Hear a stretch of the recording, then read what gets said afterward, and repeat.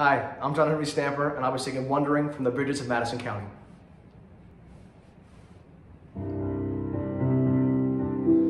But wouldn't it be fine to share the weather in her eyes, her hair, her footsteps as she climbs the stair, the shadow in her light?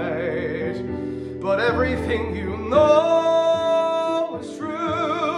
and everything you want to do and everything that makes you you collides against the night.